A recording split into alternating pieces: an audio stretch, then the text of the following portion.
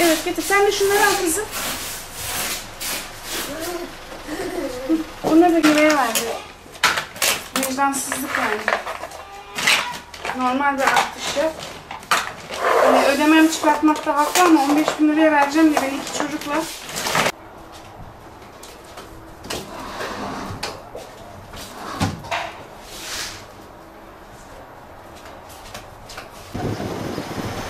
Sanki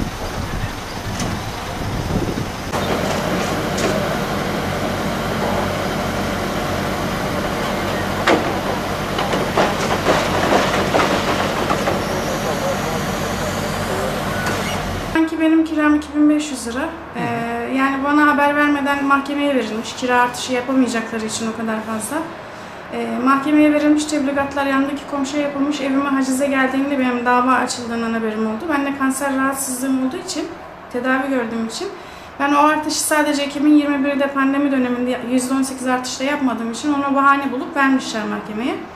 Benden çok fahiş fiyatlar istediler. Yani ödediğim kiraları ödemedim diye. Yani bu artışla yapmadım diye. Ne kadar ücret istediler sizden kira için? 16 bin, 17 bin lira para istediler. Yani 2000 sanki bir sene hiç ödememişim, 1800 lira kirayı hiç ödememişim gibi o paraları tekrar istediler.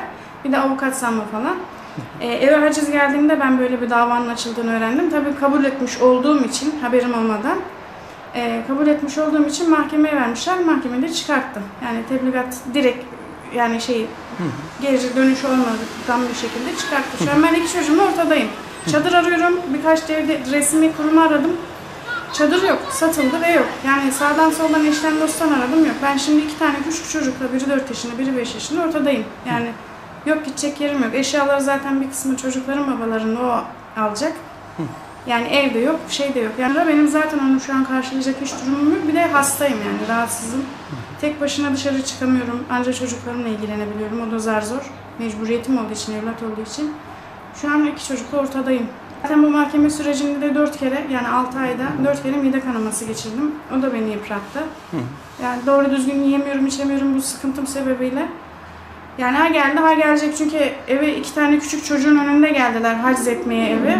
Çok büyük psikolojik sorunlar yaşadılar. Ben de hemen çıkarttım yani onlar yine gelmesin çünkü bugün yarın gelecekler. Haciz işlemiyle mahkeme buna karar verdi çünkü. İki çocukla ortadayım.